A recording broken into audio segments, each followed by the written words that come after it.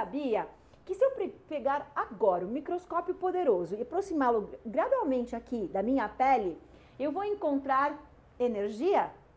Resumidamente, primeiro eu vou encontrar células, depois moléculas, átomos, partículas subatômicas e por fim, energia. Eu vou explicar. Vamos lá, vem comigo. Vamos fingir que eu vou colocar o microscópio aqui no meu coração. O que, que eu vou encontrar? Partículas, átomos, moléculas, células, tecidos, órgão, coração e energia que mantém tudo isso unido. Tudo é energia, inclusive o nosso corpo físico. Então, com isso, é possível sim concluir: tudo é energia.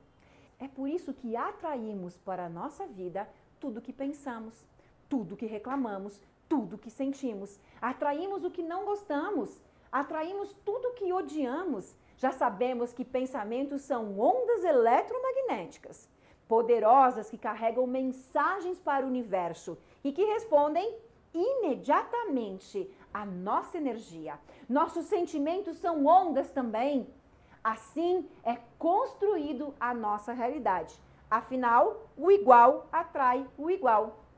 Isso acontece porque tudo é energia. Nós somos pura energia. Os objetos são energia. Tudo ao nosso redor é energia. Aqui está a grande importância de você conscientemente evocar o tempo todo a gratidão e o bem-estar. Energias iguais se atraem, energias equivalentes se unem com uma grande força, uma enorme rapidez. Ninguém recebe presente se estiver se comportando mal. Para você atrair paz, amor, felicidade, tudo que deseja, é preciso emanar bons sentimentos. É preciso ser uma pessoa que envia boa energia para todo o universo. Vou, vou segurar aqui também para que você possa entender uma coisa. O que pode estar acontecendo com você é o pensamento é positivo. Quer ver um exemplo? Eu sou próspera. Era aquilo que eu fazia. E lembra o que eu falava? Lembra o que eu falei? Piorava. Piorava e piorava. Vamos entender? O pensamento é positivo. O pensamento cria o sentimento. A partir daquilo que eu estou pensando, eu vou criar um sentimento, perfeito? Então eu estou da informação para o sentimento. Mas muitas pessoas não conseguem manter esse alinhamento. Então o cérebro, o pensamento que é racional, que é elétrico, está emanando para o universo. Eu sou próspero. Mas o pensamento não magnetiza, não volta, ele só emana. Então você emana o universo afora, eu sou próspero. Legal. O sentimento cria a realidade. E o sentimento está sentindo o quê?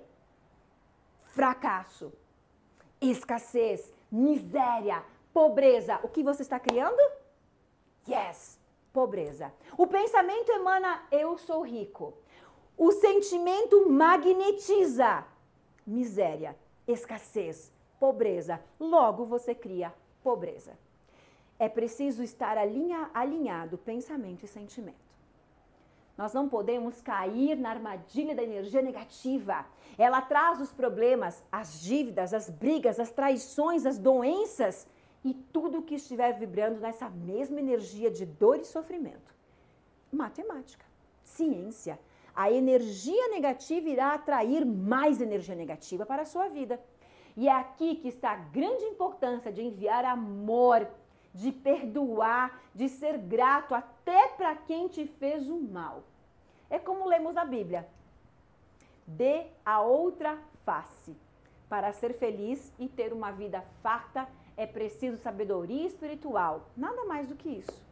Você precisa acordar e dormir todos os dias agradecendo tudo que lhe foi dado, tudo que você tem hoje, para que você, a, para que você tenha mais amanhã. Essa é a fé que Deus tanto nos ensina. Creia no invisível.